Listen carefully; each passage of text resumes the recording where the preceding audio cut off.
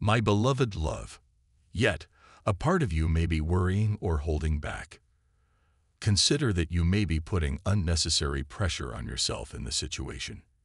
Make room if you need more time to build your confidence in something.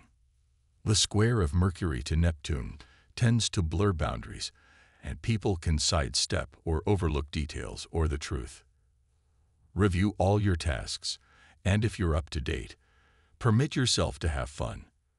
Wait before making big decisions mainly related to heart affairs and financial affairs.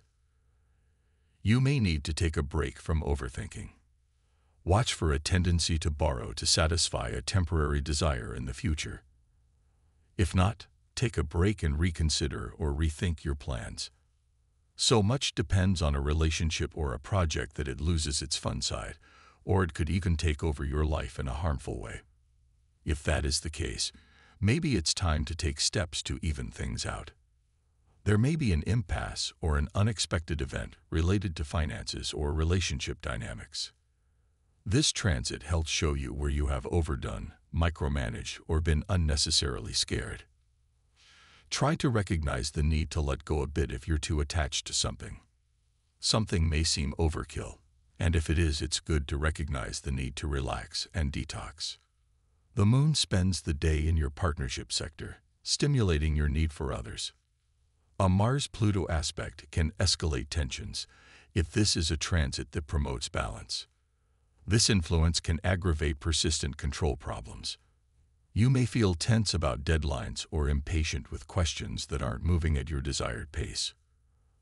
There may be uncomfortable feelings, words, or thoughts, but it's a great time to acknowledge anger if it's lingering so you can deal with it. Consider that being cautious in your private life and reluctance to explore deeper issues can escalate tensions. It's better to deal with something you've swept under the rug than to avoid it, because it could appear in a disruptive way. The tendency to fixate on a specific topic or idea can be positive if applied to a project that needs special attention, as long as you avoid pushing things too hard in today's transits. Worries and concerns seem to be growing, and you may need to watch for a tendency to see the best or the worst in a situation rather than just seeing it for what it is. There can be a buildup of pressure in a friendship or a project today. A Mars-Pluto aspect can indicate emerging resentments related to different values, respect issues, etc.